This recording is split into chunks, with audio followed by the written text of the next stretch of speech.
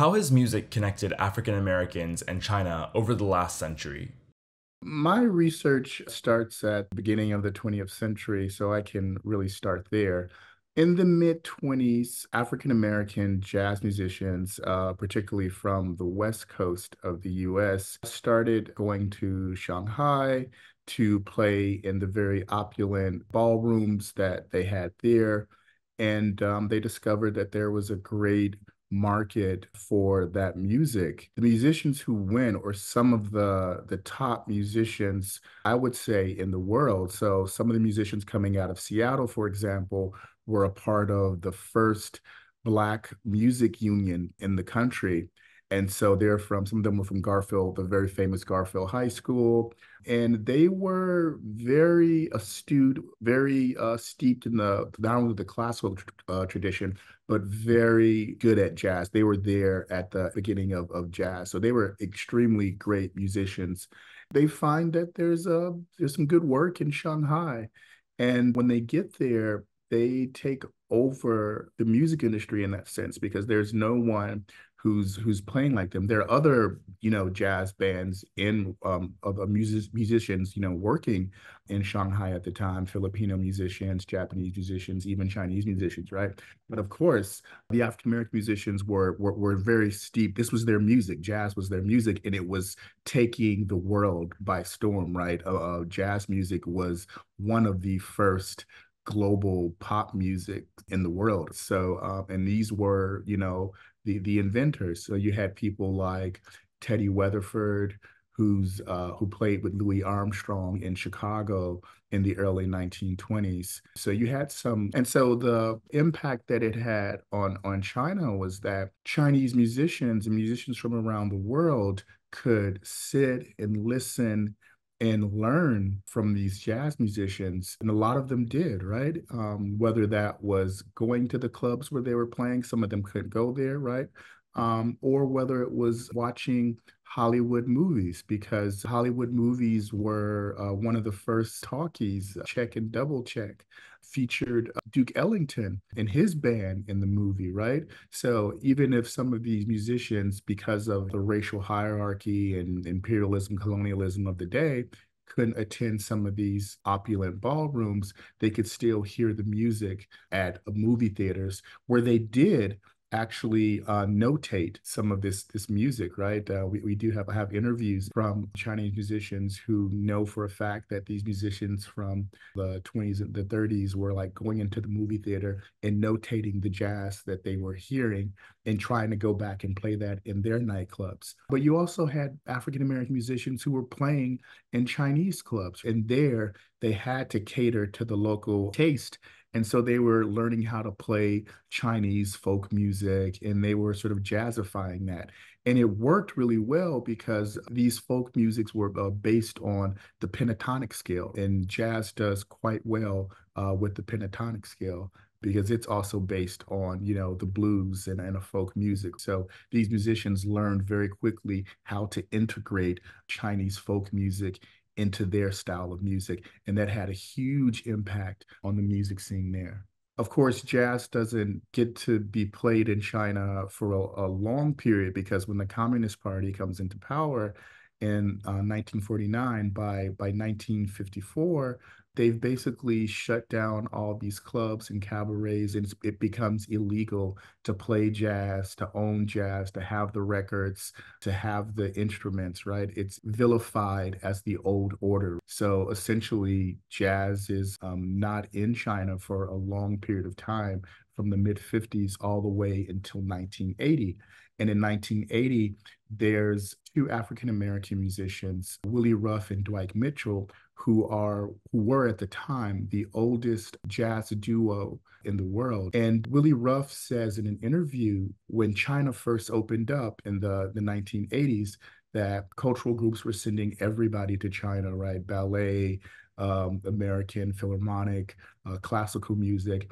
and he wanted to take jazz to China. And so he raised money, he learned how to speak Chinese, and he spent six months learning Chinese so he can communicate with, with people uh, about jazz in Chinese, uh, which he did. It was very admirable for him to do that. And um, they had a, a master session at the Shanghai Conservatory of Music.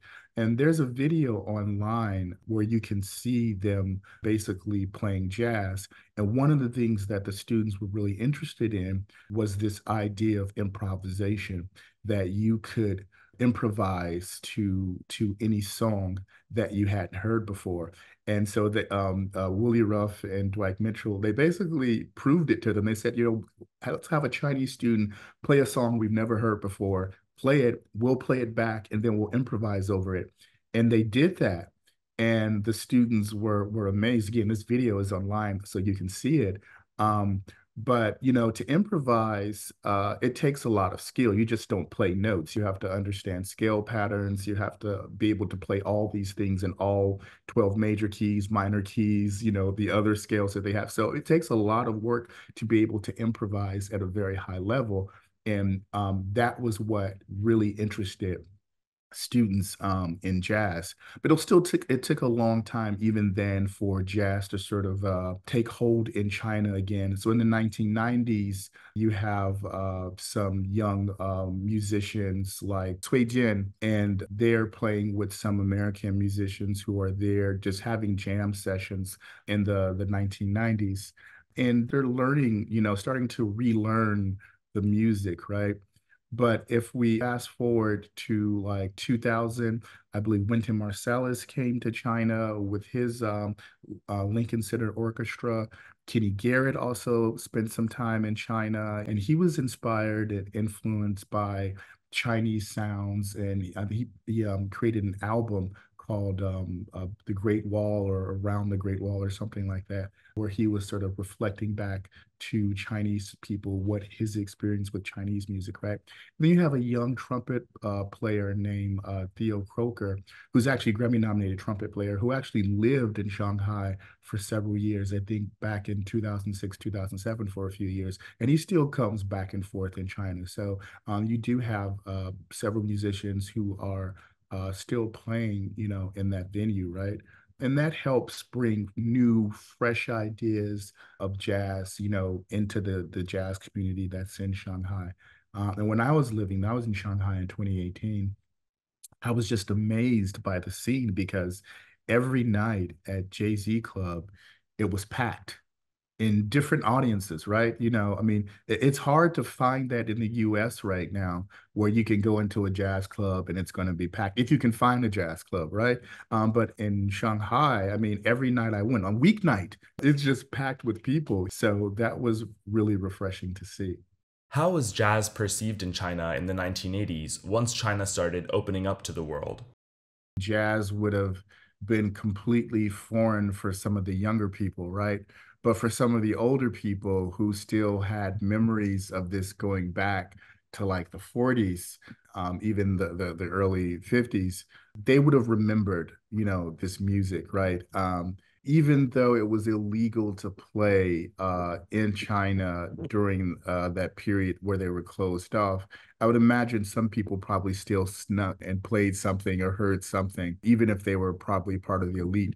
But in the 80s, it would be something completely, no pun intended, foreign to the average young person. It would be something new. One uh, historian, David Moser, who's, who's lived in China, because he was in Beijing at this time, and he told me that he felt that jazz was somehow seen as being kind of uh, subversive in a way. This was something else, another form of expression that was also tinged with with freedom, but was kind of under the radar as as, as opposed to rock and roll. What were people to people interactions like between Black artists and Chinese locals? If we're going back to the 20s and 30s, I believe that the African American musicians, I mean, had a really a good time in China. Um, they were making a lot more money than they could make in the U.S., and this was um, and this was um, during the the Great Depression, right? So they were making a substantial amount of money that provided a certain kind of lifestyle uh, where they were having their clothes tailored, eating the best food. I mean, yes, they were in Shanghai, and Shanghai is a, a was a, a semi-colonial space where there was still this rigid sort of racial hierarchy that was there. But they were still um, because of you know their income, um, because of the international aspect of, of Shanghai. Uh, I think most of them really felt free. Um, there is one musician, Teddy Weatherford. He was interviewed, and one person asked him. Um, and you know Teddy Weatherford was this you know very tall man for the for the period. He was like six one, six two. He used to wear these white um, suits, you know, donning a white hat. So he was, you know, you couldn't miss him, you know, and he was very like uh, dark skinned black man. And uh, so one interviewer reportedly asked him, um, well, you know, how are you treated? You know, how are things life in, you know, in Asia? And uh, his response was, they treat us white folks just fine. That had to be how good it was to be a, a, jazz musician in Shanghai at that time that he would make a statement like that, you know. Even up until the start of um, World War II in China in 1937, I mean, half the musicians went home because they sort of saw the writing on the wall that, you know, things were becoming more violent. Um, the Japanese bombed part of uh, Shanghai, and some of the musicians left. But uh, there were several African American musicians who did not leave. Uh, they did not leave Shanghai. They stayed, um, and and many of them ended up in like Japanese internment camps. But uh, the fact that they were more willing to uh, deal with the prospects of war than to go back to America uh, says a lot about what America was like then, right?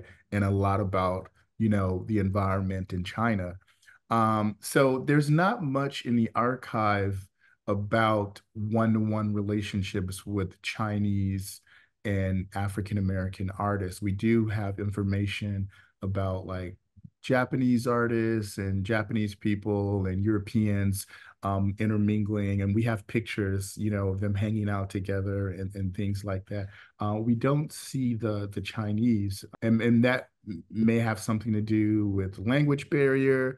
Uh, it may have something to do as well uh, with a a tinge of maybe uh, some anti-blackness, and you know, who wants to, you know, get to know or befriend black people. Um, for the common person, I mean, you know, uh, one of the musicians, Buck Clayton, writes very warmly about Chinese people and his interaction with with Chinese people um, and the experience they had in China.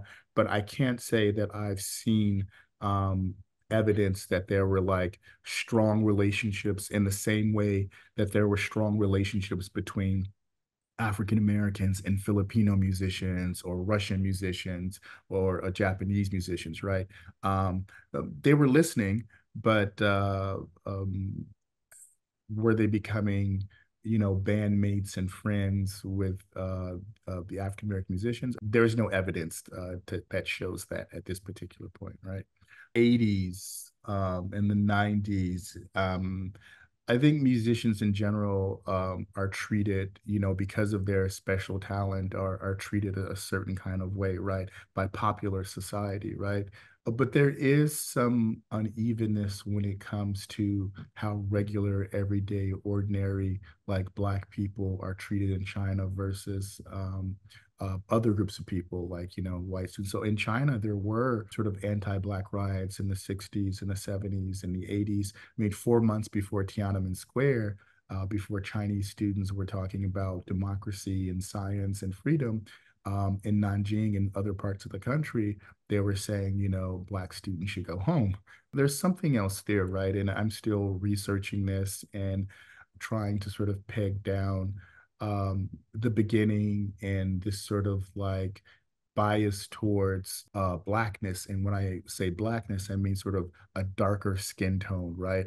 And in some ways that that white students don't have that same experience. Yet, yes, they're a foreigner. Yes, they're considered non-Chinese, but the tropes surrounding whiteness are very different than the tropes that um, the Chinese have in general for Black people. And again, these things are shifting and changing in the 21st century as a lot of Chinese students who have studied in America have, you know, Black teachers and Black friends. But if you would talk to their parents, there'd probably be a different, a, a different story, right? But these things are still present, right? These things are still present in China. and it does have an impact on Black students who go there.